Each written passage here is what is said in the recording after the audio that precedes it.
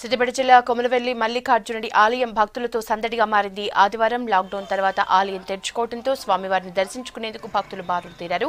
మాస్కులు పెట్టుకుని భౌతిక దూరం పాటిస్తూ స్వామి దర్శనానికి క్యూ కట్టారు. క్యూ లైన్లలో థర్మల్ స్క్రీనింగ్ చేయడంతో పాటు శానిటైజర్లను భక్తులకు అందించారు ఆలయ సిబ్బంది. పదేళ్ళలోపు పిల్లలు అరవై ఏళ్ళు నిండిన పెద్దల్ని ఆలయంలోకి అనుమతించలేదు.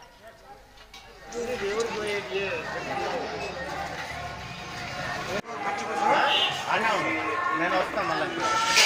నాకు ఇది పడను? చేయలేదు చేయలేదు బ్యాక్ చేసుకోండి చేయాలి బ్యాక్ చేసుకోండి. అన్నీ పూజ